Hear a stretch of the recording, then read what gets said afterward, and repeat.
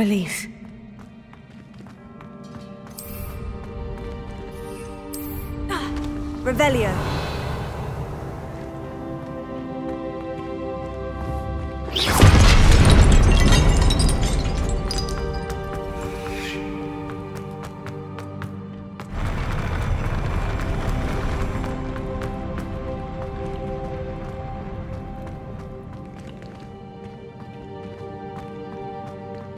Another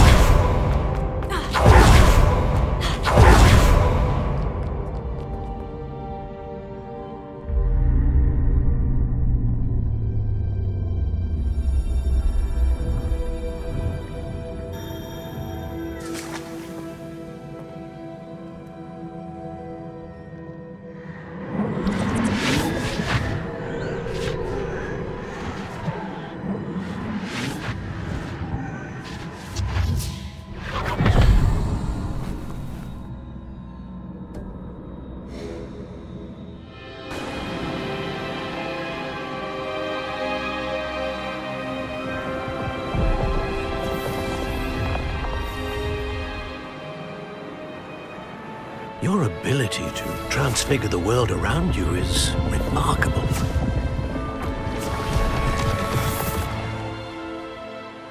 What is it? My father isn't getting better. I don't think he'll ever recover from the death of my brother. It is agonizing to see those we love suffer. The drought was years ago, the pain of losing him is as deep for him now as if it had happened only yesterday. He doesn't need pretty pillars, he needs peace. What if I could help him, Professor? You do so much for your father already. It's not enough. I want to take away his pain. It is tempting, I know, to use this magic that you're mastering to transfigure more than the physical world. But human emotion is a potent force unto itself. Even the most well-meaning and competent witch cannot possibly know the consequences of irrevocably manipulating it. So I'm to watch as my father's pain destroys him. It is not your pain to take.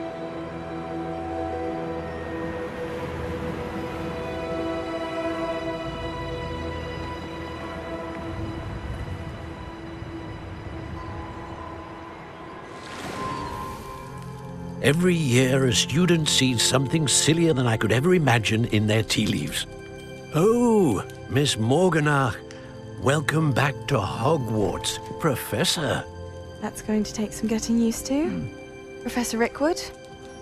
I was so pleased to hear that you'd accepted the position of Defense Against the Dark Arts, Professor. Sit, sit, Isidora. Tell us about your travels. I was actually hoping that you and the others might join me at my home this evening. There's much I'd like to share with you. That would be delightful. We shall let the others know. Very well. I shall see you then.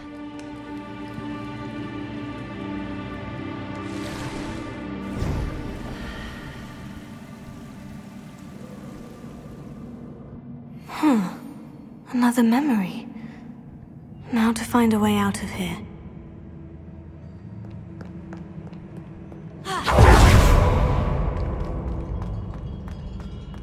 Crystallized stone. That must be the way back to the map chamber.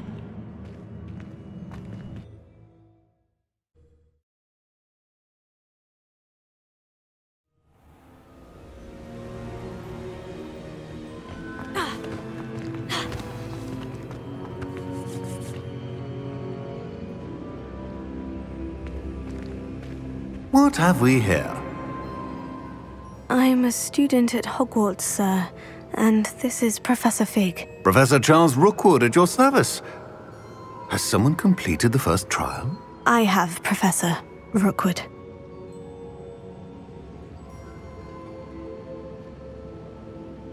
We saw you in the Pensieve in Gringotts with Professor Rackham. Indeed. So, you found the portkey to access Professor Rackham's vault, and you deciphered the map within the locket you found floating above that Pensieve. I did. I found something that I can't identify floating above the last Pensieve. Ah, yes. You will find a similar artifact in each trial. You must take care to keep them safe. You will need them to complete the journey we have set forth for you. Once you have them all, we will tell you what to do with them. Very well. Are you able to tell me anything about the next trial? Before you proceed, I would like to speak with Charles regarding the urgent situation involving the goblins. The goblins? The student has seen traces of a powerful dark magic being wielded by goblin kind. They and their mentor, Professor Fig, not only encountered goblins lurking outside of San Bakar's tower, they also encountered a powerful goblin in my vault at Gringotts. Hmm. I'm afraid it would be wise to halt the trials until we know more. We shall defer to you in this matter, of course. Now then. Wait, Professor. The name Rookwood. Do you think... That there's a connection to Victor? Perhaps, but we can't be sure of its significance, if any. For now, tell me what you saw in the Pensieve. Before the witch from the last Pensieve, Isidora, became a Hogwarts professor, she argued with Professor Rackham about using magic to remove pain. Hmm. Hopefully the next Pensieve provides more context. For now, we should learn what Ranrok knows. I will be honest, I've no idea where to start. Actually, I might know of someone. I saw Sirona at the Three Broomsticks speaking to a goblin once. They seemed friendly. Well, it's worth a try. See what you can find out. Of course, don't forget... My studies, yes, sir. Uh, before you go,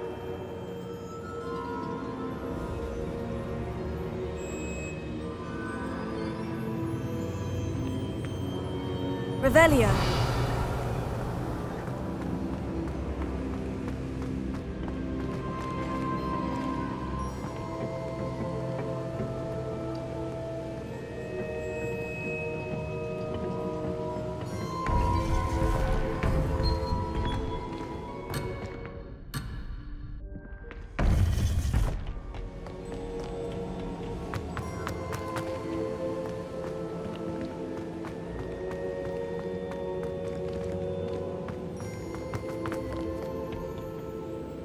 Professor? Have you encountered swirling traces of magic in the world?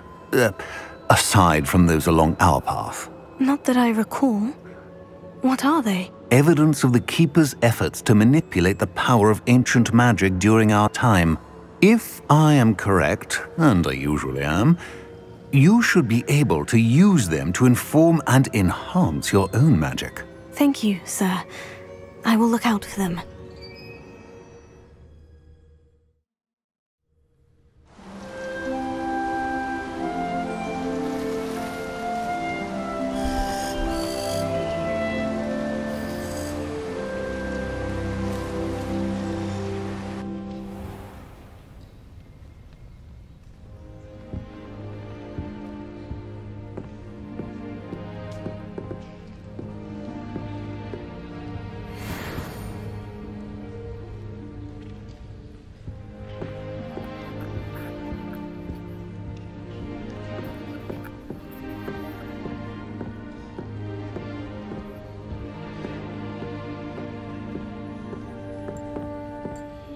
I should ask Sirona at the Three Broom. I've got spectacular news. The broom upgrade's ready. Ha, stop by the shop when you can. I hope you will come and see me about a pressing and highly confidential matter at your earliest convenience. I believe that we may be able to help each other.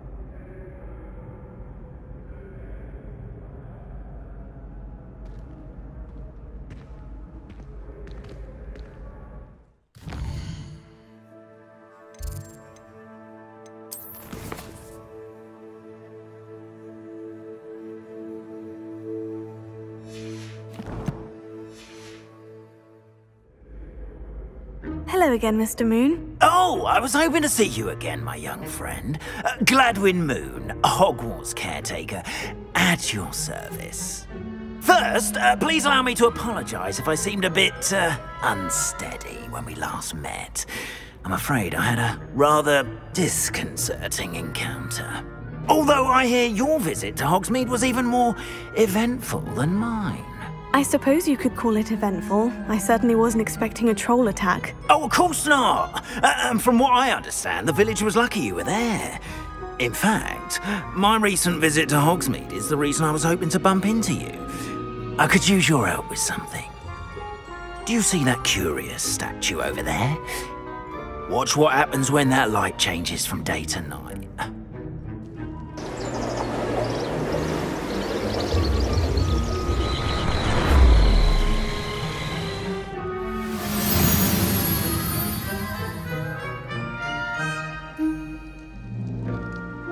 If you wouldn't mind humouring me for a moment, see if you can remove the moon statue. Oh, odd little contraptions, aren't they? It seems the statue vanishes once the moon is removed. Which, incidentally, can only be done at night. Uh, why don't you hold on to that one for now, and I'll explain more as we walk.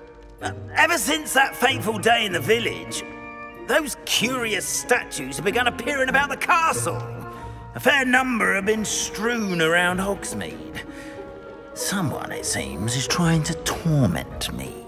You see, that day in Hogsmeade, I turned a corner and came face to face with a boggart, or, or shapeshifter, if you will, uh, which takes the form of whatever scares you most. This one took the form of a demiguise. A demiguise? Terrifying creature that can see the future. Wholly unnerving. I encountered one when I was a lad in Korea. Terrible experience. Uh, those statues are demiguises. The moons, I assume, are an uninspired play on my name. Some jackanapes used a boggart to learn my greatest fear and use it against me. I have my suspicion as to the scoundrel or scoundrels responsible. It is my hope that they will slip up and reveal themselves as the statues disappear. That is why I need your help in removing the statues. Why me? A couple of reasons, frankly. Uh, first, your daring do against those trolls in Hogsmeade has gained you a reputation for fearlessness. Second, as macabre and hideous as a demiguise is, most would find my fear of them unwarranted. You, however, have seen how they affect me. I'm at my wit's end, young friend. I, simply can't bring myself to go near them. In fact, I know of two statues right here in the faculty tower.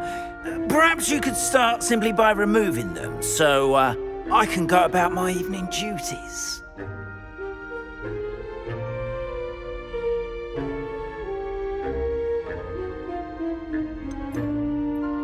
Why would I do this? Seems all risk and no reward. Oh, rest assured, there's very little risk, and there is, in fact, a reward. I will teach you a particularly useful spell. Hmm. Uh, first, you know how to cast a disillusionment charm, correct? Hmm. You'll want to do that before wandering the tower at night. Uh, next, you'll notice that the door is locked. However will you get in? Hmm.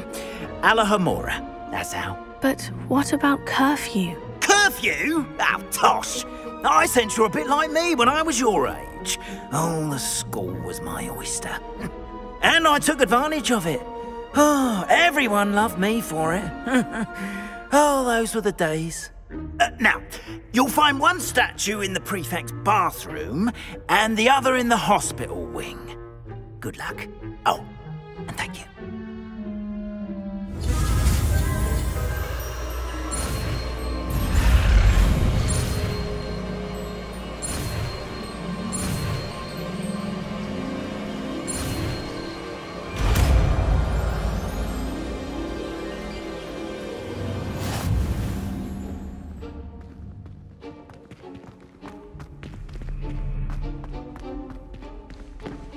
Alohomora.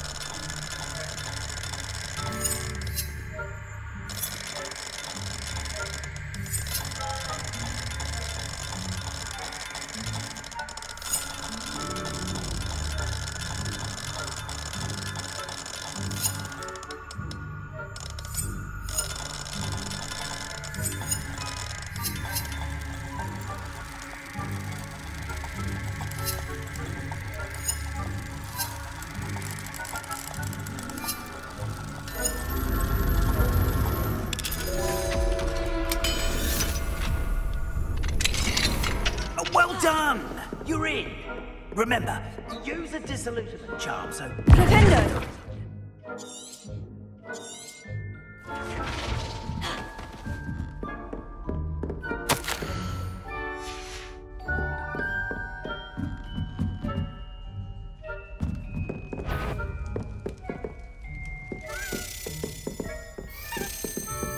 If I catch us spying on the professors, are we?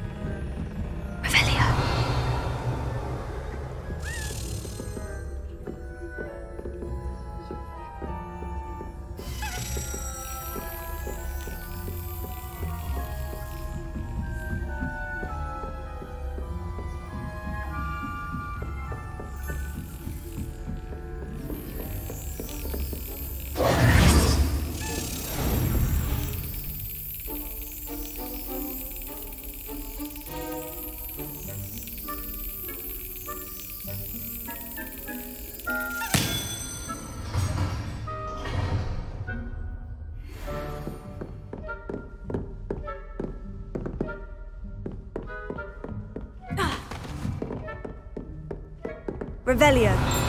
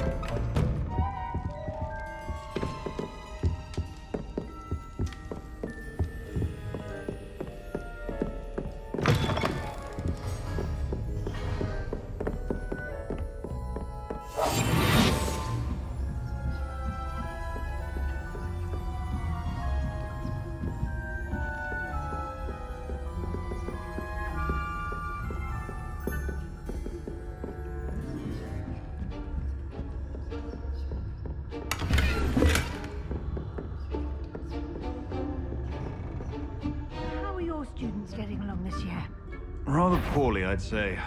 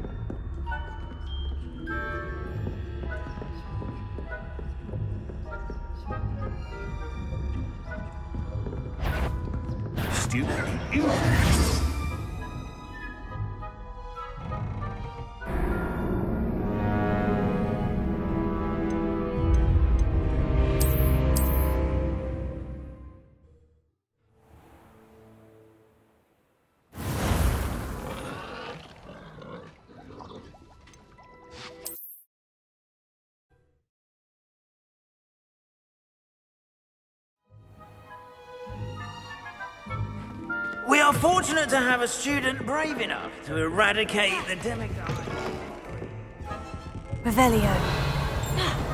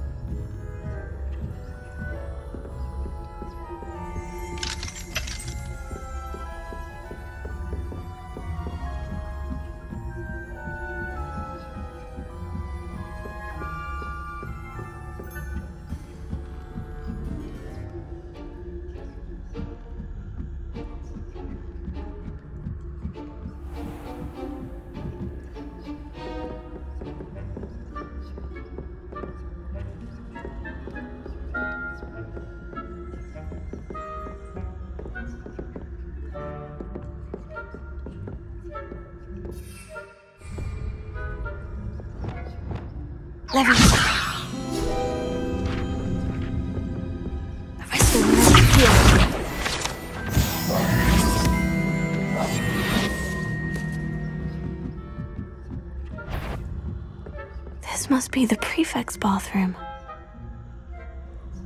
I wouldn't be a prefect if I didn't inform. What you up to?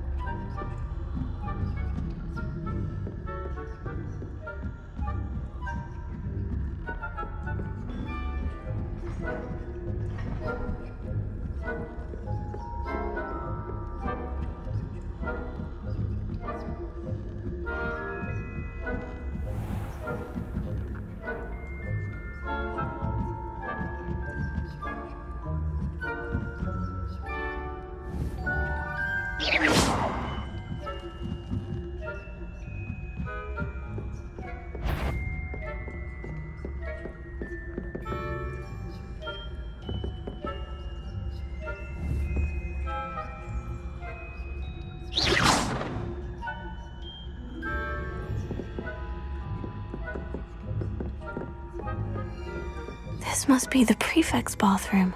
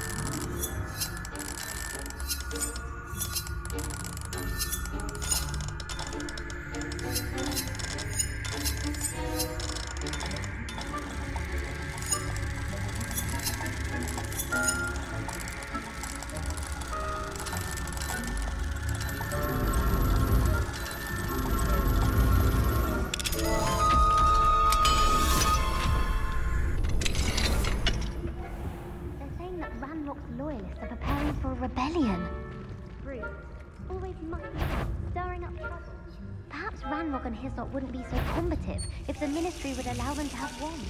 One of those goblins comes near me, I'll hand him his hat. Or helm, suppose. Anyway, Goblin Rebellion. My march I don't think that's what that class is for. Right. Why don't you leave goblins alone, troll? How dare you speak to a prefect, I'm a prefect too, you twit. That's it. 50 house points. You know you can't do that. Thank you.